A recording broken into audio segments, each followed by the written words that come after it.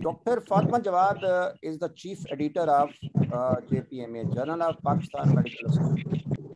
This journal is one of the uh, uh, journal of the Pakistan with highest impact factor. And Dr. Fatma Jawad is uh, not only the national but also international uh, uh, teacher, and uh, she has a lot of webinars and uh, physical webinars uh, and contact sessions nationally and internationally. We are lucky, Dr. Fatma, uh, thank you very much. Uh, you gave the time and especially so many people uh, from Azad Jammu Kashmir Medical College, Muzaffarabad, and other people requested me, Professor Mulazim, why not you conduct this uh, important sessions? Dr. Fatma Jawad, now it is over to you. Assalamu alaikum, everyone. Everyone, thank you. Walaikum Name of God, Bismillah Rahmanir Rahim. Professor Salma Kundi is also there, president of uh, PMA. Assalamu alaikum. It's a pleasure. We will, I was, I was thinking you would be in the Peshawar. I'm traveling, so I'll lose connectivity. That's why the vote of thanks should be made by Professor Kazi Wasik sir. Thank okay. you so much. Thank you so much, madam. Okay. Uh, this is a saying uh, hadith from Imam Ali ibn Abu Talib, the most complete gift of God is life based on knowledge. And I think we all try to follow this, we all agree with this. Uh, I'm very grateful to uh, Professor Salma Kundi, Dr. Qazi Basik and Dr. Mulazim for inviting me for this webinar. And as Dr. Mulazim has just stated that the topic is very important, especially for our junior colleagues who are in, um, the teaching uh, institutions and they have to perform research and they have to teach research to the juniors. So I've tried my best to get everything together. We'll have it, uh, we'll have a discussion for one hour and I hope I can convey some good material to you. So this is what our journal looks like. It is called the Journal of Pakistan Medical Association. And it is a leading monthly journal with all biomedical articles in it. It is a peer-reviewed journal with an impact factor of 0.781. We have been indexed with Index Medicus, Index Medicus since 1975. Now the question comes to the mind that what is research? It was in the year 1577 that the French people, they defined research they, uh, as to go about seeking. We also know that when we add the word re, R-E to a word, it means doing it again. So it means you search again. Research is actually a quest for something new, but there's some requirements. Not everybody can do research. You need to have an inquisitive mind and it deals with collecting knowledge of the past and then you have to add something new to it what is going on today. But there is a basic responsibility for performing research and that is that responsibility starts from conceiving the idea shaping the idea and then conducting the research. And then eventually you get the results. And finally after you've got the results you have to get it published which is an which is absolutely obligatory. So then many people ask, why should we write research? We've done the research, we've got the results, and why should we write them in scientific journals? And the reason is that you want to disseminate whatever your knowledge you have increased or the results you have got to the large community of scientists. And whatever the pool of knowledge has been there, you add something to it. And this information will help others to interpret their own results. So it is an obligation on the researcher. They must write down the research, no matter even if it is with negative results. There is an effective method of writing the research.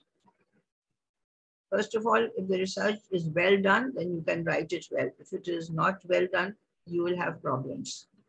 You have to have a clear objective with a well-defined hypothesis. I mean, you must know what are you going to research on? What, what is your uh, hypothesis? Um, you have read a lot and then you decide. For example, you decide that if you are going to eat more vegetables, you will lose weight. This is your hypothesis. So then you're going to research on that. But if you do not have a clear, well-defined hypothesis, the research will all be jumbled. You have to have very accurate steps of research. The data collection has to be very exact and the analysis has to be professional. Now we know the statistical analysis is being done in every teaching institution. And how are we going to work effectively? What is desired is that you have to have honesty and you have to be ethical. And this is important. You have to follow all the rules. All the aspects of the research should be discussed at the beginning of the project with your co-researchers. It should be decided before you start the research.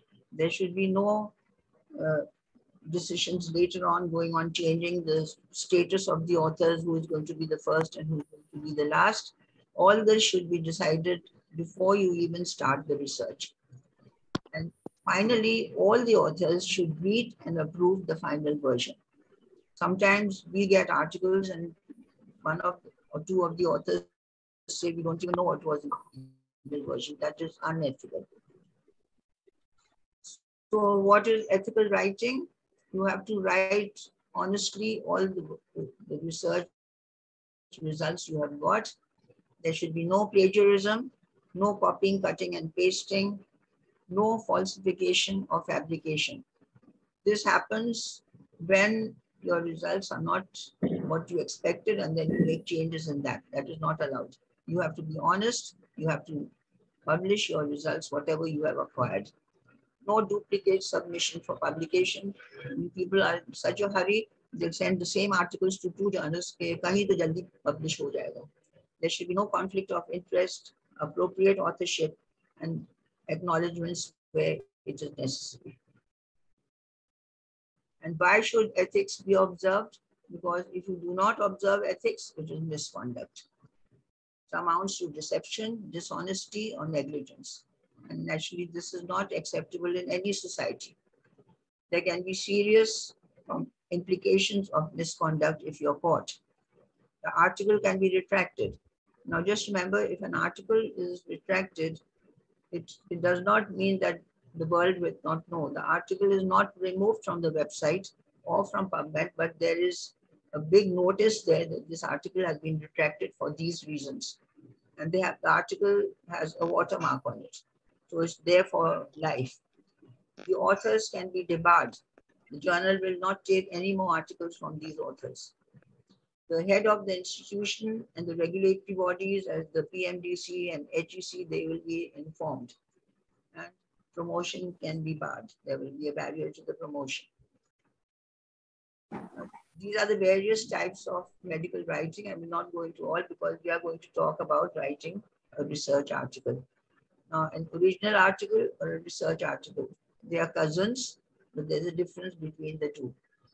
One time there was the Higher Education Commission had wanted original articles for, um, for promotion.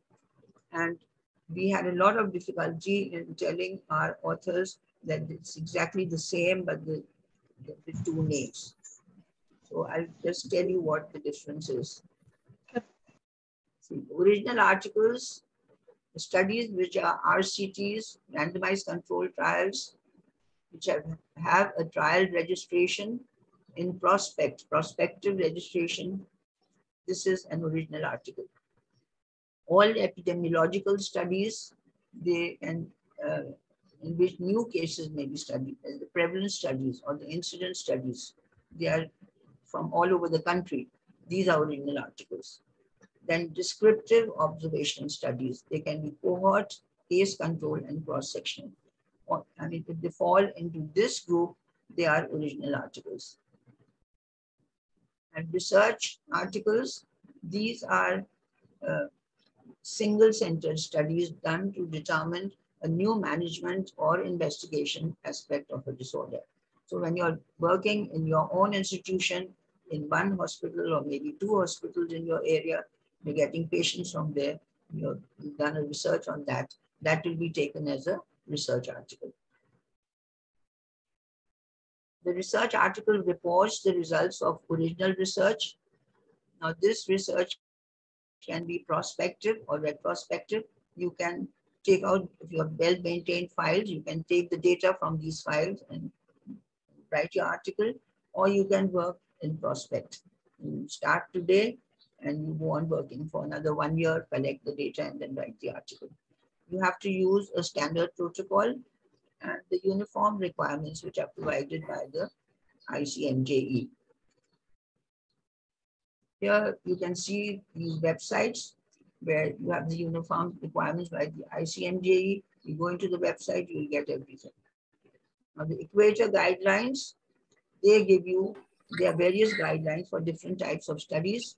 And here you can see that if you, uh, the strobe studies are used for research articles. This is what the equator guideline website looks like. You can just go into it, it's free of cost and you get the guidelines for your study and you work accordingly. This is what the strobe checklist looks like. They give you a checklist and you have to follow the checklist and write accordingly. Now the structure of a research article in short, which is called IMRAD. I stands for introduction. This is followed by methods, results, and discussion. And before the introduction comes the title and the abstract. And after the discussion comes the acknowledgements, disclaimer, conflict of interest, funding source, and the last the references. So we go into all this in detail so that you all understand how paper should be written. You have a good be short, specific, and retrieve. Give the full information what you are going to write on all the elements of the paper should be there, no abbreviations in the title. I'll just describe to you what all this means.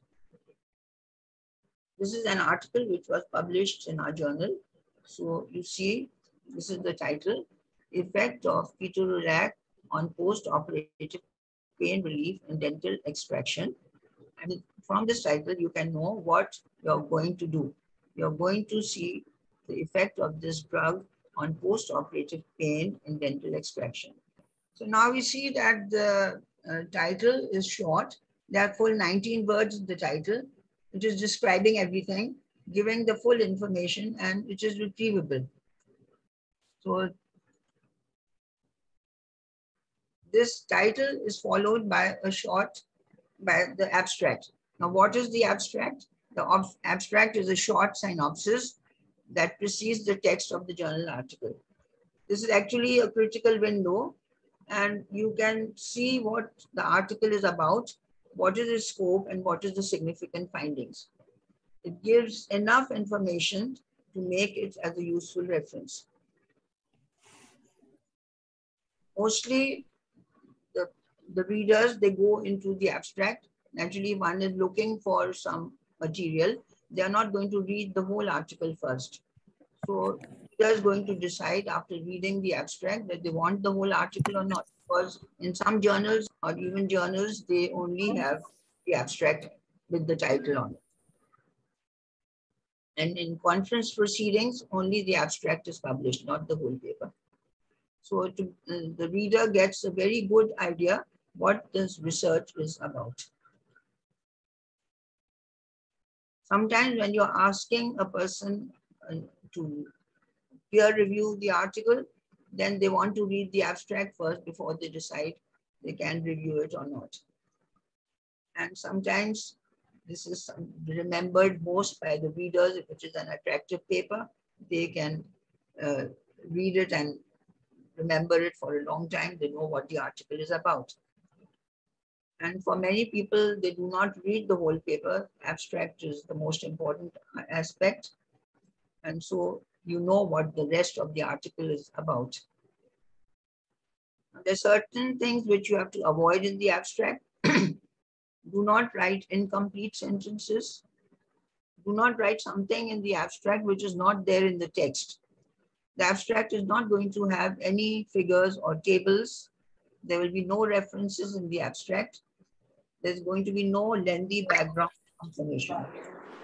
And do not use abbreviations or terms which are going to cause confusion. And do not be biased. Do not report only the favorable results. You have to give all the negative results also if there are any. Abstracts can be of two types, structured and unstructured. Uh, the journal in question decides what type of abstract is the author is supposed to submit. In our journal, we ask for a structured abstract for research articles and for short reports or case reports, we ask for an unstructured report, uh, abstract. But even if it is unstructured, that means there are no subheadings in it, but you follow the logical sequence. That means you start with briefly that what is the purpose of the study? How did you do the study? What was the design? What were your major findings or the results? And what did you interpret from the results, which is the conclusion. And it is 151, so you have to be very precise in writing. A structured abstract is going to have these four subheadings, objective, methods, results, and conclusion. And the word count is 250. So the objective, in the structured abstract, you state the precise objective of the study. And in the method, you have to give the study design. Where was it conducted? In the institution or in the community or in, the hospital. You have to give the time period of the study. You have to give the number of patients who were included or the subjects who were studied on or if on in the lab material study how were the participants selected? And then how was the study carried out? How, how were the results acquired? What were the analytical methods? And what were the research instruments used? So the main findings with specific effect sizes will be in the results. You'll have to give the statistical significance, if any have been acquired. And even if they're negative findings, you should be reporting them.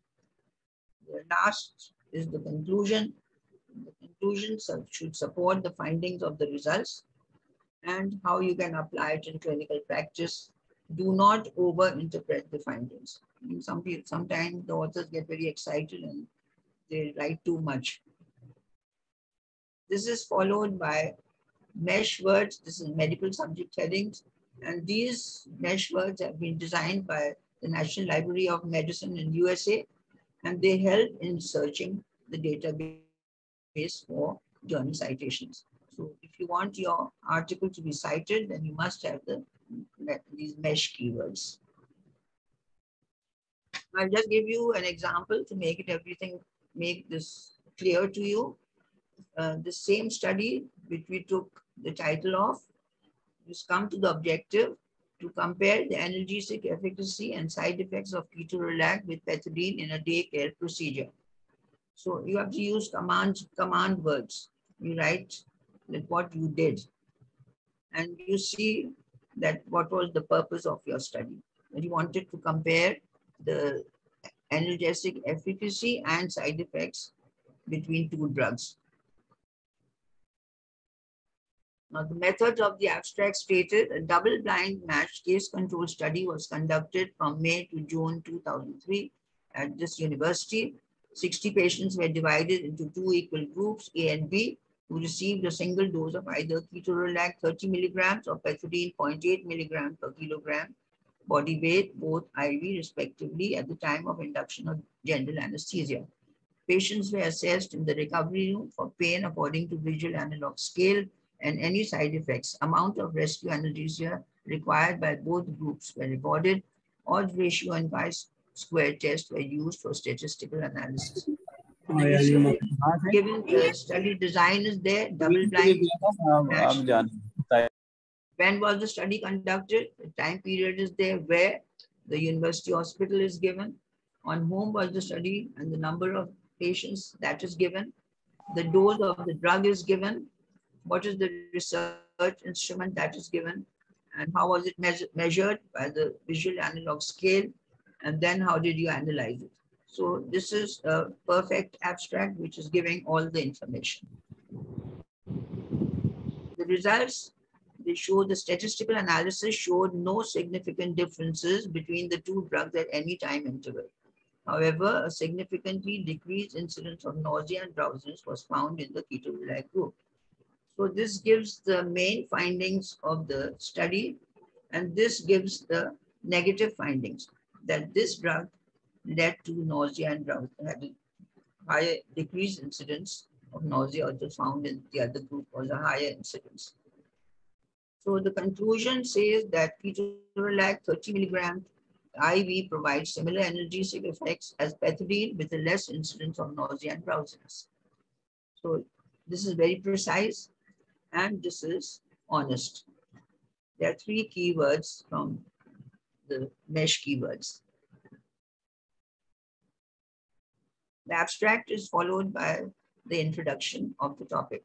Now, introduction of the subject, because you want to uh, first write that what is already known on this subject, and then you're going to report your findings. You have to summarize uh, the problem under discussion and you have to discuss it in the light of literature which is already available. So the questions which have to be answered is, what was I studying? What do we know about this before the study? And how is this study going to enhance our knowledge? The introduction is written as an inverted triangle. The base carries the most general information. This is about the topic, what, is under discussion. And apex is the specific problem which you are going to study. So you have to begin with sentences focusing the topic established by a review of pertinent literature. You have to read before you write. So you have read the literature, you know what the, uh, the topic is, and you begin at the top. The introduction begins with introducing the subjects. The end, you have to give the purpose of your study and the scientific merits. Why are you doing the study? If you are using a new methodology, it has to be given and you have to say why it is better than the older methodology.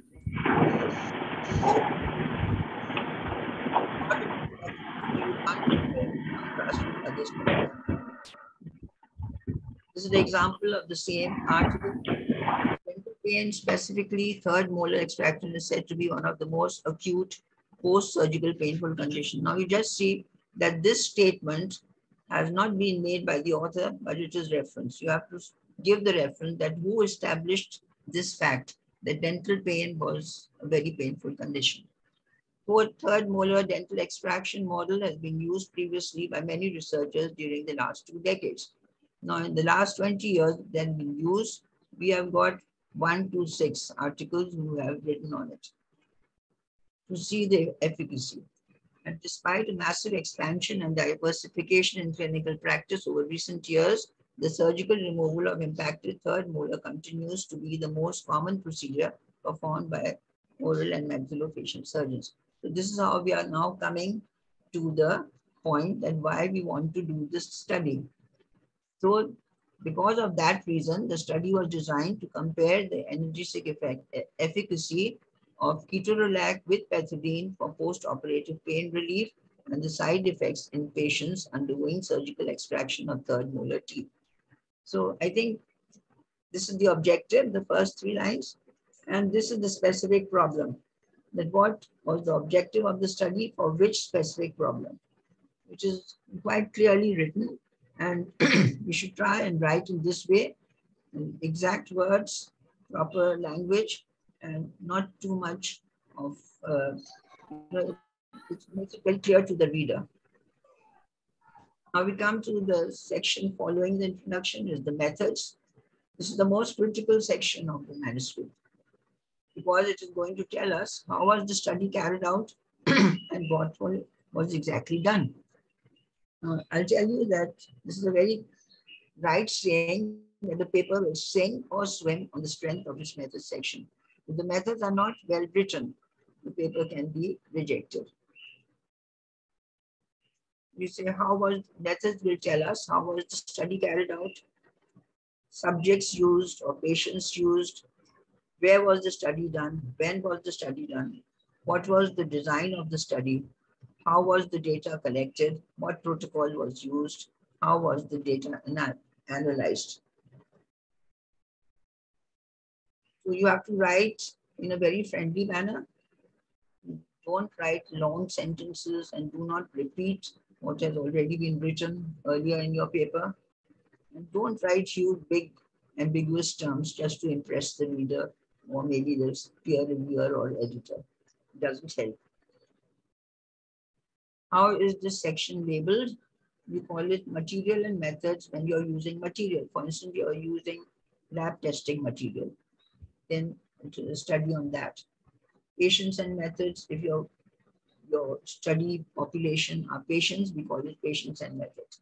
If the study population are healthy individuals, then we call it subjects and methods. So a good methodology should have sufficient details to help others to replicate study. Whatever you have done, it can be done by others also. And if, if you have already, or, or somebody else has already used this method, then you can still use it. But you don't have to write the, all the details, then you can just refer to it and give the reference. This is allowed. When you're writing the method, you should begin with the ethical guidelines of Helsinki Declaration in 1975. And the study, for instance, the studies on human subjects, then you start with the IRB approval and the written and informed consent of the patients who were included in the study. If the animals, if they're animal studies, then you use the approval of the concerned board. So today's, this is the article we are, we've been discussing today, a little while back. You see the methodology, uh, style, descriptive in the active voice and third person. After approval from the Human Subjects Protection Committee of the hospital and patient's consent, then it goes on. Use the past tense because the study has already been done. So we say 60 patients were included. Then you have to describe the site of the study. So it was a daycare setting in a teaching hospital. Normally they give the name. How was the sample size calculated? You have to give method, how it was calculated with the supporting reference. Describe the experimental design, controls, variable, and treatment, whether it was double blind, single dose. This was case man. This was the study under consideration. Sample size calculation, many people miss that out and this is very important. They need different methods of sample size calculation. One formula cannot be used for all designs. You can consult or take help from your statistician. We have all these different methods or different tools available, WHO, OpenEpi, G-Power, and if the sample size is not calculated, the power of the study can be weakened. So it is very important. The sample size must be calculated for doing a study. Then we have the inclusion and exclusion criteria. And here in this study, the, as I said, only ASA 1, 2, and 3 patients of 14 to 50 years of age or two or more third molars extraction with at least one mandibular molar were included in the study. So they've given all the factors which were the inclusion criteria. Exclusion criteria, patients with a history of acid peptic disease, asthma, hemorrhagic diathesis, renal impairment, known hypersensitivity to NSAIDs, concurrent treatment with NSAIDs, hmm. nursing mothers were excluded.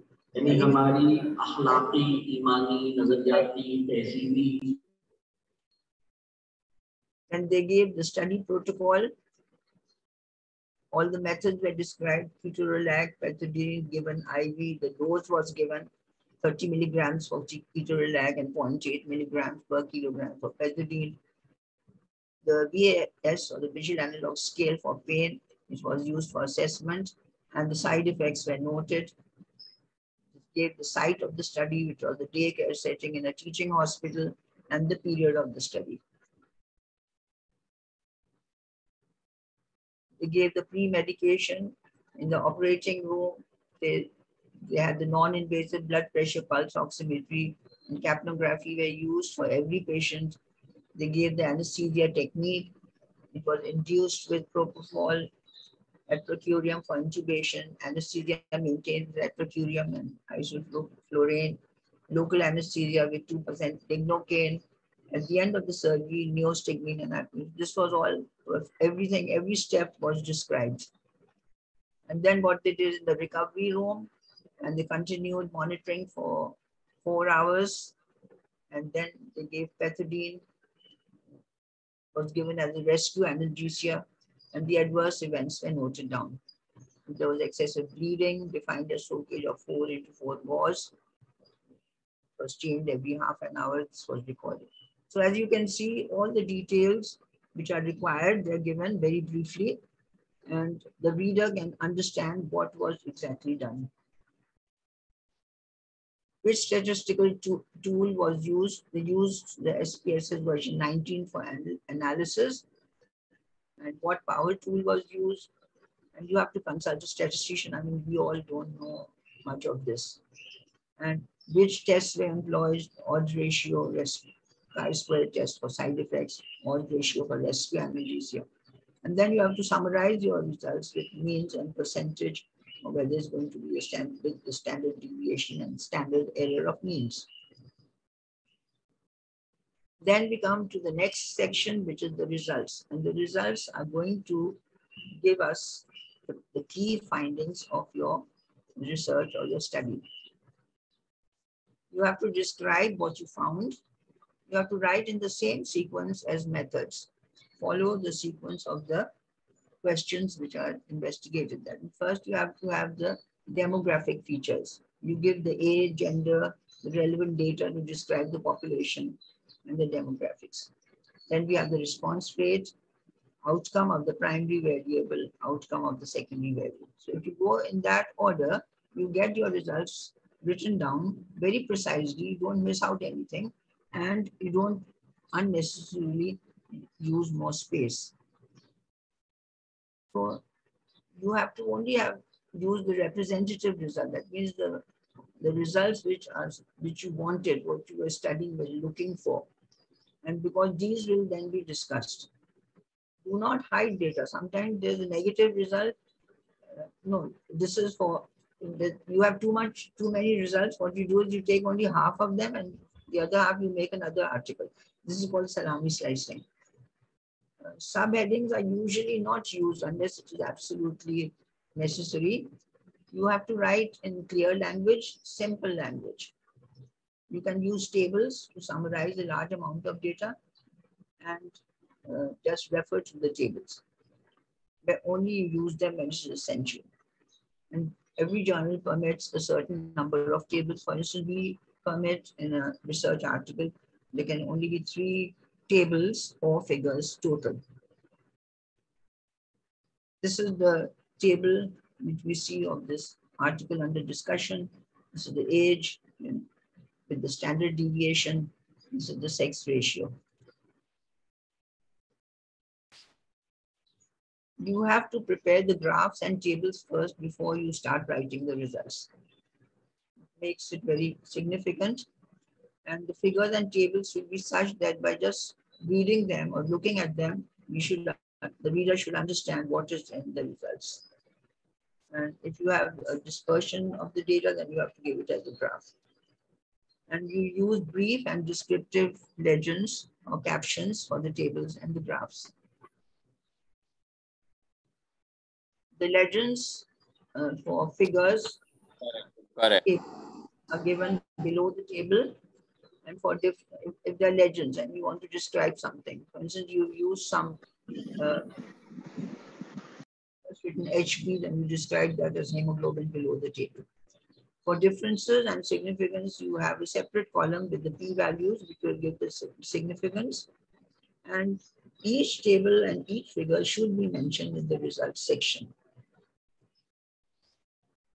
The tables and figures are assigned numbers separately. You can't go table one and then comes in a figure, so you call it figure two. If there are two tables, it will be one, table one and table two. If there are two figures, it will be figure one and figure two. The legends of the table or the captions will go above the table And in the figure, it will be written below the figure. When you're referring to a figure in the text, you will write it as FIG, that is the abbreviation. But the table, you have to write the full table, it is not abbreviated. And all the number of tables and figures, they have to be mentioned or referred in the text. This is the demographic data of this article. This is another table which is going giving the mean pain uh, score. And this is the rescue analgesia. This is the comparison of the side effects of the two drugs.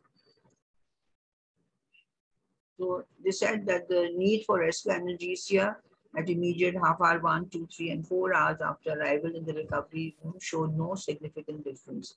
Because after seeing the tables, we could see that. And the side effects showed that only nausea and excessive drowsiness was significantly higher in the pethidine group as compared to the ketorolac group. What should be avoided in the results? Do not repeat the values from each table and figure in the text. As we just saw, that uh, they only mentioned generally that it was the rescue and, and GCR was required in very few patients or those who were who had been given pethidine. They did not give the values which were given in the tables. Only focus on the key results which each conveys. You don't have to go into each and every result. And of course, do not present the same data in the table and figure form. And do not report raw data you have to finally process the data and then they use the final, the means and the percentages. While uh, doing your paper, do not use many colors, becomes difficult for the journal. And if you have colors, it should be clear. Do not manipulate images. This is unethical. And if you're caught, there can be very serious repercussions.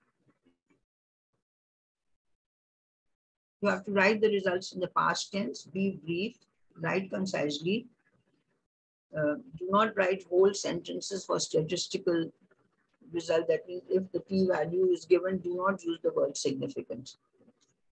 You must report negative results. They are important because they will help to interpret your work done. The results are followed by the discussion and the discussion, the objective or the function of the discussion is to interpret your results in the light of what is already known on the subject. And if you have discovered something new or there's a new understanding of the problem, that will be in your result that will be discussed. The discussion is written as an inverted triangle. The base is at the top coming to the apex, which will be the specific reply. So you begin with the statement of principal findings, what your results gave you.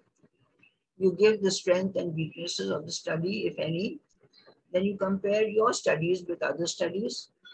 And is there any implication for the readers? Are there any questions which still remain unanswered? First paragraph can serve as a mini abstract and you begin with that you can just restate the main questions and this will give you an indication of the conclusion you're going to draw. For instance, they said post-operative pain control is one of the most important aspects management of surgical patients. Various drugs are used, non-steroidal anti-inflammatory drugs and opioids. So this is how you begin your discussion for this article. And then you have to have a fresh angle at this point. This was known.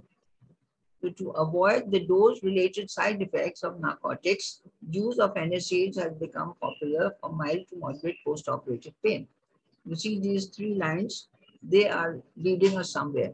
We want to avoid narcotics for pain and we are thinking of NSAIDs. So we have to see what side effects the NSAIDs are going to have. They're talking about ketorolac, which is a NSAID, which has been compared and found effective with pethidine with lesser side effects. You summarize the principal findings of your study. So you said in our study, the drug was given at induction, pain score was evaluated after arriving in the recovery room after four hours intervals. and peak pain intensity in our study was at one hour. Now this is compared with other studies. You use other studies whether your results are better or their results were better and you have to reference the other studies which are used. We discussed in the same sequence, analgesic effect, side effects and rescue. This was a sequence that was used in the study. So we begin with the analgesic effects, what were the side effects and how much rescue analgesia was used. What you should avoid is do not restate the entire results in detail. Not going to repeat all of it. And you can just add few results. So you bridge sentences. Do not add new results in the discussion. If the journal allows or if it is necessary, you can use subheadings. Now, strength and weaknesses uh, there are in every study, so you have to be honest. If you have any weaknesses of the study, you just mention it. You can call it limitation or weakness. For example, if the sample size was small, obviously the results are not going to be very exciting. So you say the sample size was small for this reason. All the required investigations were not available. You can see that MRI was not available in the institute, so it was not done. If you have any strengths, you can state that. All the subjects were followed up with no fallouts. This is a strength. You have to compare with other studies. Uh, relate your work to the finding of other studies. Discuss the differences with, in the results of other studies and with your results, along with the strength and weaknesses. For instance, Olmedo et al., we gave the reference, found no difference in pain intensity between the drug and the placebo groups at 8, 24, and 48 hours interval. So you compare it with your study you have to understand the hypothesis. How could the results of other studies combined with yours give a better understanding of the problem? So you have to write on that. As for instance, this ketorolac, you say that it has minimal anti-inflammatory and antipyretic activity at analgesic doses, small doses. It is also a potent platelet aggregation inhibitor, which is not an anesthetic agent and possesses no sedative or anxiolytic properties. Briefly mention any intended further studies to clarify your hypothesis. This is not necessary, but if you have the intention, it should be mentioned. Now, readers are very important. Just keep this in mind. Because sometimes when some wrong results are missed out and published, and it sometimes the peer reviewer misses that. Sometimes the editor misses that and the article gets published. Even after 10 years, a reader can comment on it and the article can be retracted. We have retracted two articles last year and we have put up a notice of concern on one article this year and three articles are still in process which have been published and you have uh, people have written on that. Readers, they do interpret so you have to understand that just if your article is published, it doesn't mean it is going to be there forever. Do not intermingle results with discussion because it confuses the reader. Do not have too much of write simple, write simple language and in a simple manner. Well, that is the best, that is the beauty. Do not suggest future research only if it is very necessary or very pertinent everybody is very fond of writing that more studies should be done. Only give specific recommendations. You are not uh, very, I mean, every person, every author is not a very high-fi researcher with 200 researchers. It's very easy to say, then do this, do that. Don't do that. If there are no recommendations, just don't say anything. It's not necessary what you should not include in the dis uh, discussion. Do not write on any aspect which your data does not support. Do not claim to be the first. This is very common. This is the first study done in Pakistan. I mean, you may have missed out many studies. All the journals, their websites are not very good. They're not approachable. Do not ramble. Write in clear language. And tables and figures should be avoided. You do not have too many tables and figures. Whatever is given in the tables and figures, do not repeat everything in the introduction methodology. Do not review the literature other than review that is necessary to place. And what you your your article needs or requires or desires, just take those results of other articles and to try and take in the latest articles not always 25 year old articles. So in conclusion of the article, this is the last paragraph of the study. So what this is linked with the objective and the inference is drawn. Explain the importance of the study or relevance. You have to give the take home points. Now the conclusion is a very brief paragraph, so you cannot write too much in it. You have to be very precise. Just write the very important points, what you have, what you have in your results, what you sort of deducted in your results. And you write that and the long conclusion, it becomes all bizarre and it's not to the point. Avoid unqualified statements and conclusions which have not been supported by your data. Do not uh, make any statements on economic benefits and costs unless the manuscript includes the appropriate economic data and analysis. Do not presume and avoid claiming priority or alluding to work that has not been completed. Do not state any new hypothesis. And you have to be very precise in the conclusion. You cannot write anything extra in the conclusion. This is the conclusion of this study which we were discussing, it is concluded that ketorolac is a useful alternative to opioid and to other non-steroidal analgesics in ameliorating moderate to severe post-surgical pain. It's brief, to the point, and we know what the study results gave us. That was the conclusion. Conclusion is followed by the acknowledgement section. And now we should know that who is to be acknowledged. Now, all those who helped in the study, if you read the ICM, ICMJE guidelines for the authorship criteria, so everybody cannot be the uh, authors, but people have helped you. Maybe you took help from a colleague to design the study and you really got help, you can acknowledge that colleague. You got cases, say, from other wards, you can uh, acknowledge the physician who referred the cases. You got many tests done in the laboratory, you acknowledge the laboratory statisticians for the statistical test. You ask somebody to type your article, the secretarial help. Then before you send your paper to any journal, you submitted it, you ask some expert friends to go through it and give suggestions. You can acknowledge them. Any source of funding for supporting the research that has to be mentioned and the acknowledgement is placed between the discussion and the references. Just before you start the references, you place them. At the end, you have to put a disclosure. If you have already presented the, the study at a conference, then you have to write that. presented at this conference this year, name of the conference, the abstract book. You have to give the abstract number and the page number of the book. If there any conflict of interest, you have to write that.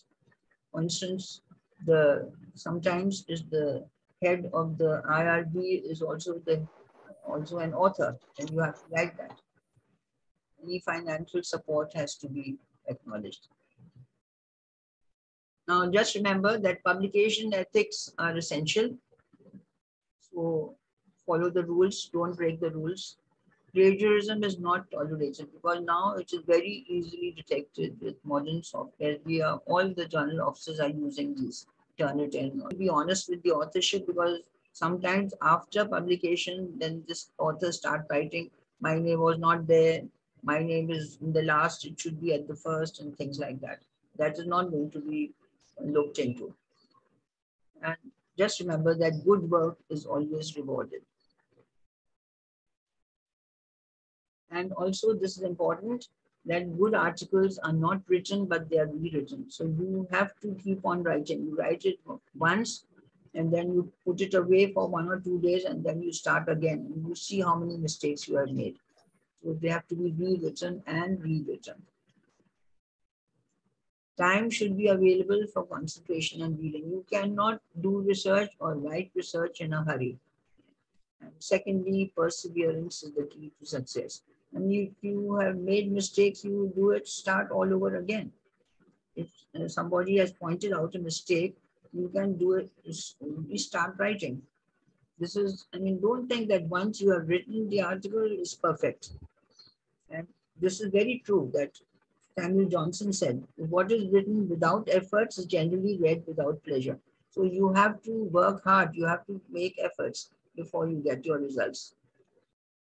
So it was real pleasure being with all of you.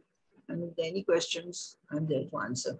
I would uh, like to ask myself, what is the now new criteria of plagiarism? How much uh, copying is been, uh, allowed in the article and in thesis and something else? Okay. Uh, in our journal, we permit 20% overlapping, but there are some journals which go less. I mean, they say 10% or 15%. The overlapping sometimes, you know, if you have taken uh, exactly the words from, I mean, put them in inverted commas and you have uh, sort of given the source, then that overlapping is permitted. But on the whole, we don't allow more than 20%.